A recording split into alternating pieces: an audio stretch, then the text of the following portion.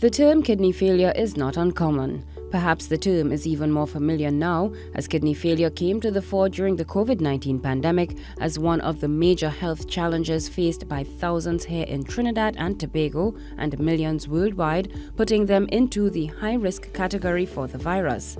A person who suffers kidney failure requires dialysis in order to survive, as the body's kidneys no longer function and doesn't filter blood the way they should. As a result, waste and toxins build up in the bloodstream. With dialysis, waste products, toxins, and excess fluid are removed from the blood. It's what helps sustain and prolong the lives of kidney patients. Dr. Rohit Dass of the Freeport Medical Center, who runs one of the few facilities in Trinidad and Tobago that offers treatment to renal failure patients, walked Health Check through the life saving dialysis procedure. Kidney failure is, is is a very serious problem because um, it involves the organ that is um, used to uh, clean the blood or excrete waste and toxins from the blood. All right, so um, blood goes through your kidneys, and as it flows through your kidneys, as it circulates through your kidney, the kidney um, would secrete or excrete rather the excess water from your blood.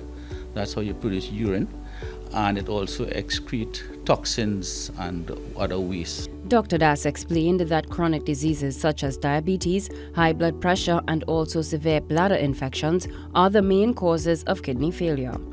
High blood pressure puts um, strain on your nephrons. Nephrons are the units inside the kidney that filters the blood, and the the those nephrons become eroded and damaged because of the high blood pressure. Similarly, um, diabetes, when it is out of control, and particularly patients who suffer from type 1 diabetes who needs insulin, insulin dependent, the sugar load on the kidney becomes too high. There are two types of ways to receive dialysis hemodialysis and peritoneal dialysis. The most common is hemodialysis. A machine removes blood from your body, filters it through a dialyzer or an artificial kidney, and returns the cleaned blood to your body. The process takes 3 to 5 hours several times a week, with vital signs being monitored throughout the procedure. Remember, we are taking the fluid, the blood out of the body, passing it through the artificial kidney, and sending it back out into the body.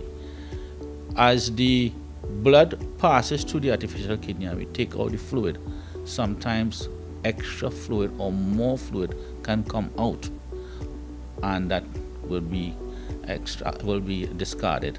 So if you take out a little too much fluid, the patient blood pressure will obviously drop. So that's probably one of the most common side effects of dialysis. Dr. Dass says kidney failure is quite common among the population in Trinidad and Tobago, and the number of people requiring dialysis treatment increases every year. It's probably about a thousand patients or so that receive dialysis at the moment, which is which is high, considering a population of 1.4 million people. I mean, that's a high figure, right? Um, and we also have to take into consideration some of the patients who dialyze in hospital and so on. Dr. Dass explained that the dialysis procedure is a costly one, which ranges between $800 and $1,500 per session. Kidney failure is usually permanent, but not always. In chronic or end stage kidney failure, persons will require dialysis for the rest of their life. With your TTT News Health Check, I am Khrystal Wilson.